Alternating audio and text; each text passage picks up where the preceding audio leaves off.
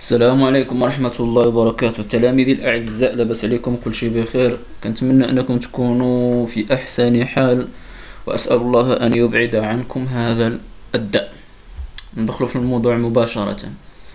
إذا كنا في الحصة الماضية نتحدث عن المقطع الثاني من سورة الحجرات وكنا قد ابتدأنا درسنا بالقاعدة التجويدية كما هي العادة. تحدثنا عن أحكام المد عرفنا المد بأنه لغتان الزيادة والإطالة واصطلاحا إطالة الصوت عند النطق بحروف المد الثلاثة الواو الألف والياء. وتعرفنا على أن أقسام المد ينقسم المد إلى قسمين أصلي وفرعي قلنا بأن الأصلي هو الذي لا يتوقف على سبب كهمز أو سكون. شرحنا ما معنى لا يتوقف على سبب أي لا يكون قبله ولا بعده همز ولا سكون.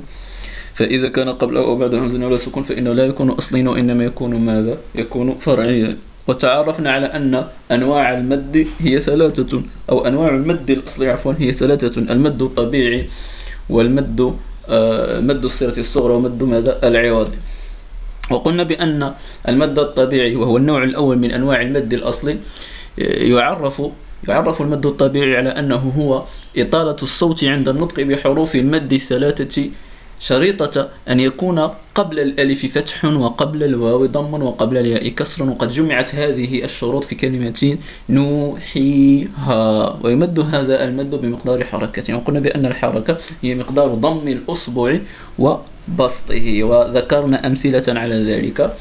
وقلنا قال الله تعالى وإن طائفتان من المؤمنين اقتتلوا. فالألف التي بعد التاء في كلمة طائفتان مد طبيعي. والواو بعد الميم في كلمة المؤمنين مد طبيعي.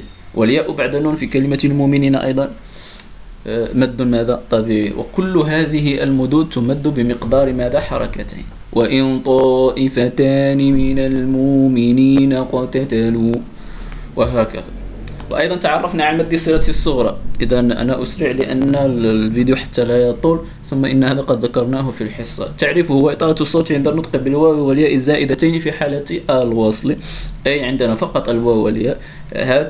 هذه الواو وتلك الياء هما زائدتان إذ ليستا من أصل الكلمة ولا تثبتان أي الواو والياء لا تثبتان إلا في حالة ماذا؟ الوصل. ولذلك سميناه بمد الصلة الصغرى. الصغرى إذا مد الصلة لا يثبت إلا في حالة الوصل. والصغرى بمعنى أنه يمد بمقدار مدى حركة. إذا عندنا الكبرى ستأتي معنا في حينما نتحدث عن المد الفرعي أعطينا مثالا على ذلك. آه، أعطيتكم مثالين مختلفين آه، أو مثال مختلف عن هذا. قال الله تعالى يا أيها الذين آمنوا لا تقدموا بين يدي الله ورسوله. هذا المثال ذكرناه. رسوله إذا ياء آه، زائدة ليست من أصل الكلمة لأن أصل الكلمة رسوله. فلا تثبت الياء إلا في حالة الوصل. ورسوله إن الله سميع واتقوا الله إن الله سميع عليم. يا أيها الذين آمنوا لا ترفعوا أصواتكم فوق صوت النبي ولا تجهروا له بالقول. إذا تلاحظون له بالقول. لأن هذا لم يبدو صيغة صغرى يمد مقدار مدى حركته. تعرفنا أيضا بعجالة تعرفنا عن مد العوض. وقلنا بأن مد العوض هو إطالة الألف عوضا عن التنوين المفتوح في حالة الوقف. ما لم يكن هذا الحرف المنون تاء مربوطة فإذا كانت تاء مربوطة فإننا لا نقف عليه بالألف وإنما نقف عليه بالهاء فمد العوض هو الوقوف بالألف على التنوين المفتوح إذا كان عندنا التنوين المفتوح فإننا نقف عليه بماذا؟ بالألف كيف ذلك؟ حينما نأتي إلى الأمثلة نفهم أكثر. يا أيها الذين آمنوا اجتنبوا كثيرا. يعني عندنا كثيرا كثيرا هذا التنوين المفتوح. إذا وقفنا على كثيرا فإننا نقف عليها هكذا. اجتنبوا كثيرا. واضح؟ كثيرا. إذا يظهر الألف ولا يظهر التنوين فيذهب التنوين ويحل محله ماذا؟ الألف لينوب عنه. أيضا في قول الله تعالى وجعلناكم شعوبا شعوبا وقبائل. شعوبا. شعوبا. شعوبا. شعوبا التنوين لينوب عنه ماذا؟ الألف. ويمد هذا المد مقدار أيضا حركتين. في هذا الدرس إن شاء الله تبارك وتعالى سنتحدث عن المضامين ومعلوم كالعادة نتحدث عن شرح الكلمات ابتداءً.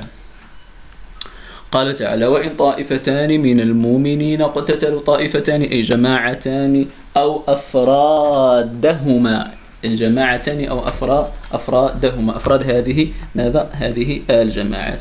وإن طائفتان من المؤمنين اقتتلوا فأصلحوا بينهما فإن بغت إحداهما على الأخرى فقاتلوا التي تبغي حتى تفيء إلى أمر الله. فإن بغت أي اعتدت تبغي تعتدي تفيء ترجع إلى إلى الحق. فاءت رجعت إلى الحق. أقسطوا أي اعدلوا في حكمكم. المقسطين العادلين. اتقوا الله اتبعوا أوامره واجتنبوا نواهيه. يعني قال تعالى أيضا إنما المؤمنون إخوة فأصلحوا بين أخويكم واتقوا الله لعلكم ترحمون. واتقوا الله أي اتبعوا أوامره واجتنبوا نواهيه. يا أيها الذين آمنوا لا يسخر قوم لا يسخر لا يستهزئ ولا يحتقر. من قوم عسى أن يكونوا خيرا منهم ولا نساء من نساء عسى أن يكون خيرا منهن ولا تلمزوا أنفسكم ولا تنابزوا بالألقاب. لا تلمزوا لا تعيبوا لا تعيبوا بعضكم. لا تنابزوا لا تتنادوا بألقاب تكرهونها. بيس الاسم الفسوق بعد الإيمان ومن لم يتب فأولئك هم الظالمون. بيس أي قبح.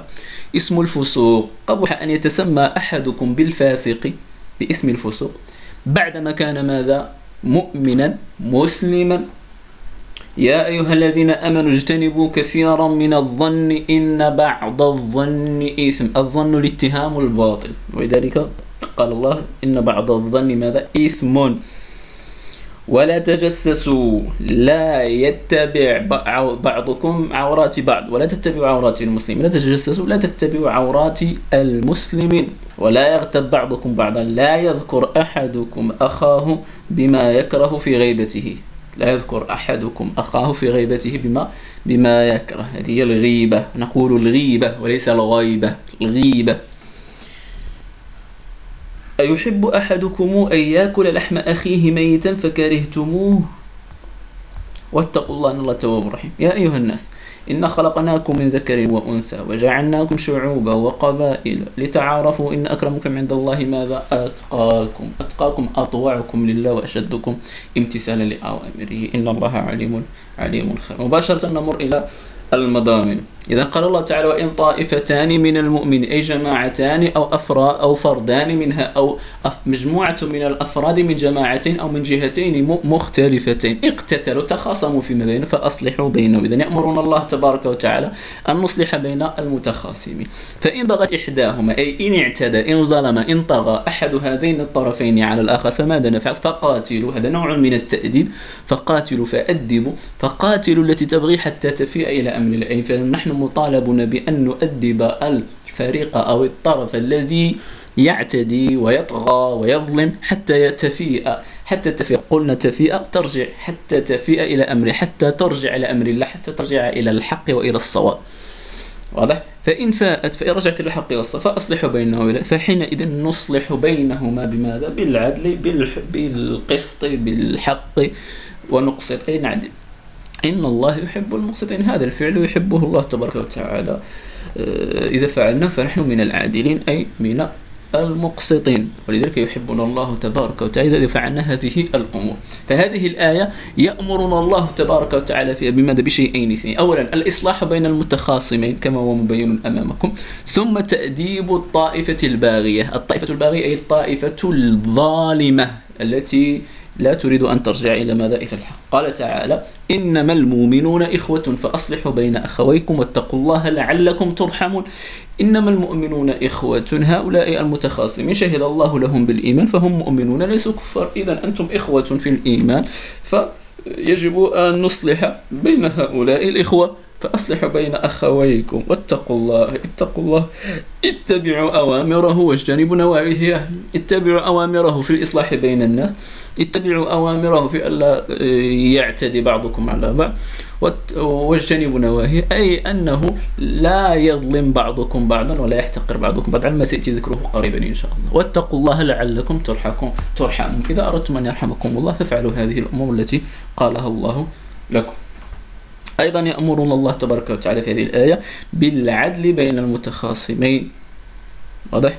بالعدل بين ماذا؟ بين المتخاصمين. حينما قال فأصلحوا بين أخويكم. طبعا الحال الإصلاح يكون بالعدل كما قال في الآية التي قبلها. فأصلحوا بينهما بالعدل أي لا نفضل جهة على جهة. ولو كانت قريبة منا قرابة نسب مثلا أو قرابة مصلحة أو ما إلى ذلك. فلا نقدم طرفا على طرف أو نتحيز لطرف على طرف آخر وإنما يجب العدل بين هؤلاء المتخاصمين. أيضا الله تبارك وتعالى يأمرنا بأوامر أخرى وبمجموعة من الحقوق تجاه إخواننا المؤمنين فيقول سبحانه مكملا يا أيها الذين آمنوا لا يسخر قوم من قوم عسى أن يكونوا خيرا منهم ولا نساء من نساء عسى أن يكون خيرا منهن ولا تلمزوا أنفسكم ولا تنابزوا بالألقاب إذا لا يسخر لا يستهزئ لا يحتقر لا ينتقص أحدكم أحدا سواء كانوا رجالا قوم من قوم أو كانوا نساء نساء من نساء. لما؟ عسى أن يكونوا خيرا منهم كما قال يعني الرجال. وعسى أن يكون خيرا منهن كما قال النساء. إذا ميزان التفاضل آه، بين الناس. ليس آه، القبيلة وليس الجنس وليس المال وليس الجمال وليس الطول وليس القصر وليس الوزن وليس اللون وليس كذا. فإذا التفاضل لا ينبغي أن يكون إلا بما سيأتي ذكره إن شاء الله. حين نتحدث عن آخر مضمون في هذه الآية. فلا ينبغي الإنسان أن يسخر أو أن يحتقر أو أن يستهزأ من أخيه. الإنسان لما ربما يكون خيرا منه. قال تعالى عسى أن يكونوا خيرا منكم. عسى أن يكون خيرا منهن. عفوا منهم. عسى أن يكون خيرا منهن.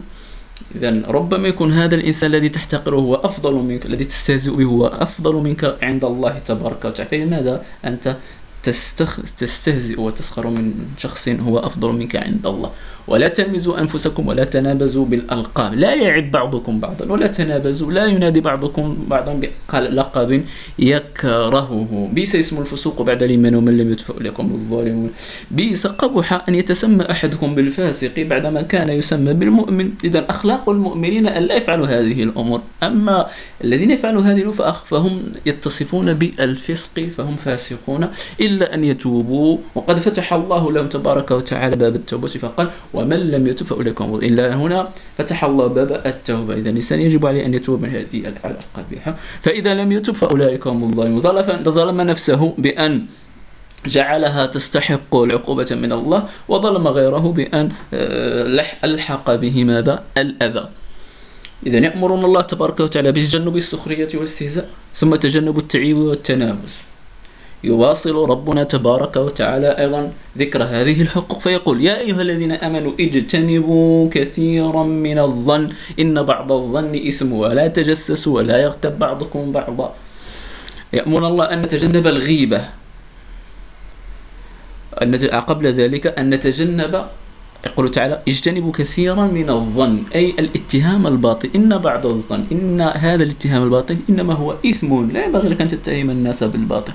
ولا تجسسوا لا تتبعوا عورات الناس من أجل أن تلحقوا بهم الضرر ولا يغتب بعضكم بعضا ولا ولا تذكروا إخوانكم المؤمنين في غيابهم في غيبتهم بما يكرهون.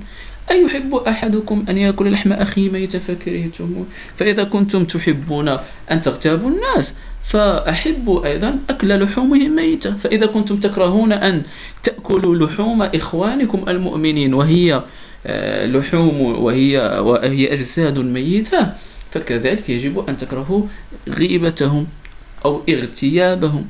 فحينئذ وجب على الإنسان أن لا يفعل ذلك كما يكره أن لا يأكل لحم أخيه واتقوا الله دائما اتبعوا أوامره واجتنبوا نواهيه. إن الله تواب لمن تاب رحيم إذا تاب يقبل الله تبارك وتعالى توبته ويرحمه سبحانه وتعالى. إذا يأمرنا الله تبارك وتعالى ها هنا في هذه الآية بحسن الظن بالمسلمين وأن نتجنب التجسس وأن نتجنب ماذا؟ الغيبة.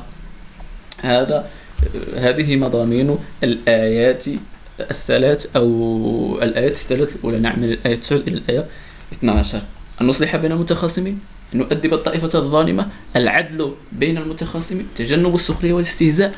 تجنب التعب والتنافس حسن الظن بالمسلمين تجنب التجسس تجنب ماذا؟ الغيبة قال تعالى يا أيها الناس إنا خلقناكم من ذكر وأنثى وجعلناكم شعوبا وقبائل لتعارفوا إن أكرمكم عند الله أتقاكم إن الله عليم خبير.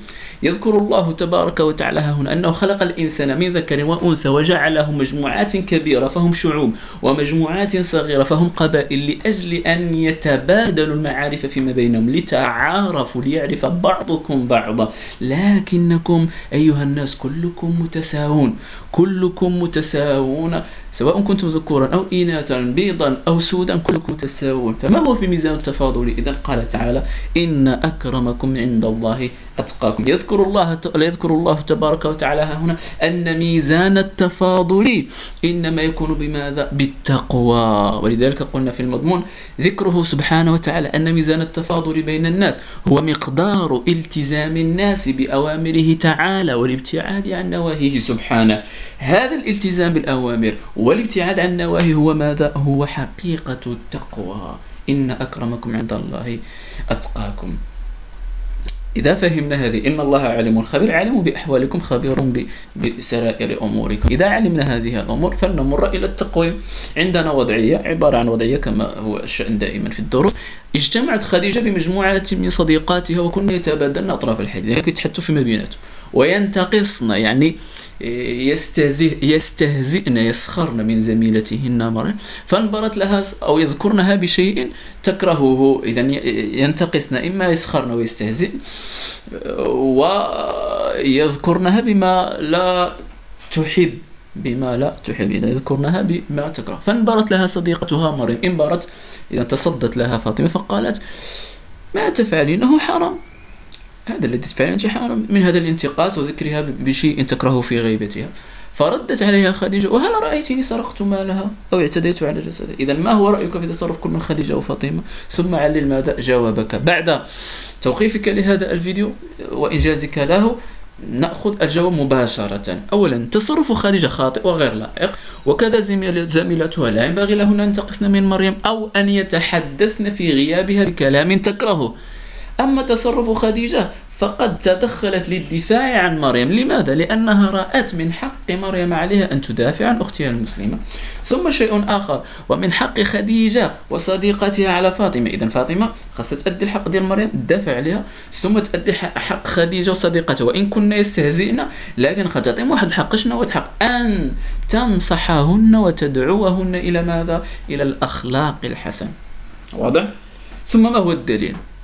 إذا يجب أن نعرف ماذا ماذا فعلت خديجة وصديقاتها. الذي تقول به خديجة وصديقاتها هو ذكر مريم في غيبتها بشيء تكرهه وهذا الخلق يسمى ماذا؟ غيبة وهو منهي عن عنه في الإسلام. قال تعالى ولا يغتب بعضكم بعضا. إذا فهمنا المضامين نزلناها على وضعية ما الذي استفدناه من الدرس؟ أول شيء استفدت أو أول قيمة يجب أن أتمثل بها داخل مجتمعي أن أزكي نفسي بأداء الحقوق الإيمانية تجاه ماذا؟ المسلمين. عدم آه، نبزهم عدم لمزهم عدم آه، غيبتهم. آه، إذا كل تلك الحقوق التي ذكرناها في المضامين يجب أن ألتزم, ألتزم بها فهي حقوق لإخواني المسلمين يجب أن أؤديها لهم. كما أيضا ألتزم بقيمة ثانية وهي أن ألتزم بامتثال الأوامر واجتناب النواهي. لماذا؟ لأنال الخيرية بين الناس. قال تعالى إن أكرمكم عند الله أتقاكم حتى أكون أكرم الناس عند الله وخير الناس عند الله تبارك وتعالى. فإنني ألتزم بخلق التقوى الذي حقيقته أن أمتثل الأوامر وأن أجتنب ماذا؟ وأن أجتنب النواهي. إلى هنا ينتهي الدرس. شكرا. على حسن استماعكم. المعلومات الواردة كلها تسجل في الدفتر آه، على أنها ستراقب إن شاء الله بعد الدخول المدرسي. أترككم الآن مع الإعداد القبلي وبالتوفيق لكم ولجميع زملائكم.